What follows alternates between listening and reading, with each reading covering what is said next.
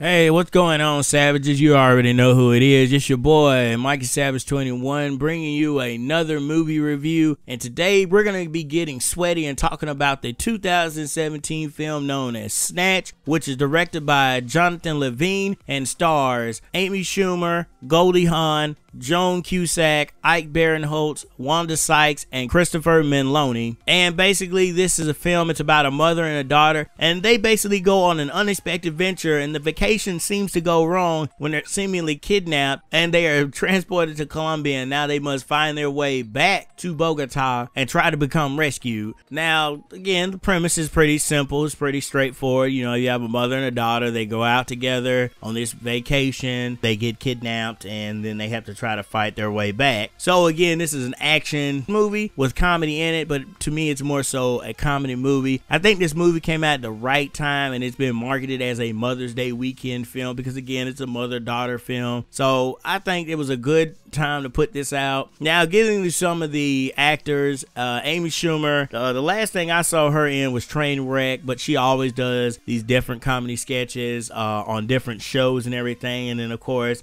she had her own show at one point. To me, I love seeing Amy Schumer on screen. I think she's a hilarious female. I think she brings a lot to the table as a female comedian. Her relationship with Goldie Hawn in the film, I bought it. It was genuine. They've seemed more like they could be like sisters than mother and daughter, and to some degree. Um, but again, it was good to see Amy Schumer. Uh, it was good to see Goldie Hawn together. Joan Cusack and Ike Barinholtz. Always a pleasure to see them on film as well. Ike Barinholtz I'm still gonna always remember him from the Neighbors franchise. That clown, that clown gag will never go away. Wanda Sykes is always a presence to see on film as well. Haven't really seen her much. The most thing that I remember her from um, is probably gonna be the New Adventures of Christine. You can always tell her voice out of anybody else's as well. Christopher Meloni, uh, it was good to see him in this because again, it was like he was playing a mesh of some of the other characters he's played together and just doing it all at once. Especially how eccentric he was. Uh, this was like his counterpart to maybe Man of Steel mixed in with his character of Freak Show um, from Harold and Kumar Go to White Castle. Maybe a mixture of them. But basically, that's it for the characters. Nobody really was a standout here in this film. Again, Amy Schumer and Goldie Hawn. I like the, the genuine chemistry they had. Wanda Sykes, her chemistry with Joan Cusack was kind of cool. Ike Barinholtz is playing the brother who's like a complete shut in. You know what? He, he was fine. Uh, again,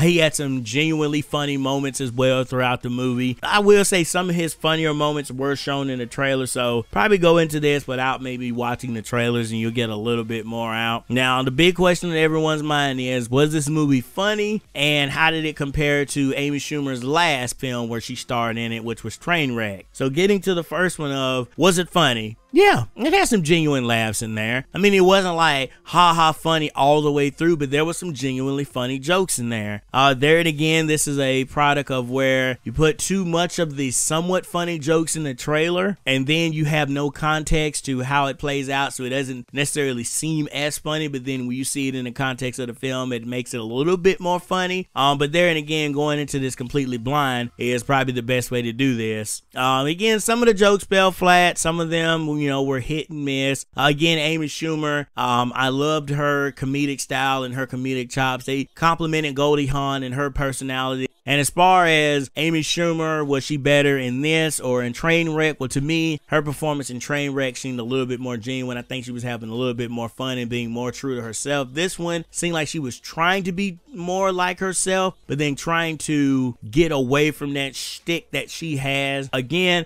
I liked how she was in Trainwreck. She was a good lead in that film, especially going up against with uh, Bill Hader and how they complemented each other. Again, Amy Schumer can do no wrong. So again, I enjoyed her in this movie, but I felt like she was a little bit better on display in Trainwreck than in this movie. If anything, I think Goldie Hawn stood out a little bit more in certain scenes than Amy Schumer did. But as a whole, I really dug the film. Um, I could tell that Paul Feig had something to do with this because I'm actually looking now and he was actually one of the producers on on it. Uh, let's just go ahead and just make the assumption that anytime it's a female driven action comedy film, that Paul Feig is going to have something to do with it. So, getting to some of the cinematography, we got to see what South America looks like, some of the beautiful landscapes. Uh, I love how they accented the waterfalls and the customs of the people that live there. But overall, I'm glad that they also took some time to focus in on the beauty of this. But as far as the score goes, I'm actually going to go halfway high on this again. I thought it had some genuinely funny laughs. Not like, oh my gosh, I need to go see this again laughs. There are there were some genuine laughs that I will always remember from this film, but nothing that's like major, major. So I'm gonna go with a seven out of a ten on this one. Again, I thought it was pretty dope. I thought it was real funny. Again, Amy Schumer and her personality with Goldie Hawn. I thought they had really good chemistry together on camera. But in terms of a Mother's Day weekend comedy, I think it was really cool, and I think you all should go check it out most definitely. But guys, what did you think of the movie Snatched? Have you seen it? Do you plan to check it out? Leave your thoughts in the comment section below. Also, before I forget, I want to wish a very happy and special Mother's Day to all of you mothers out there. Thank you all so much for what you do for this country. But as I always say, guys, remember to become a savage, stay a savage, and peace out, y'all.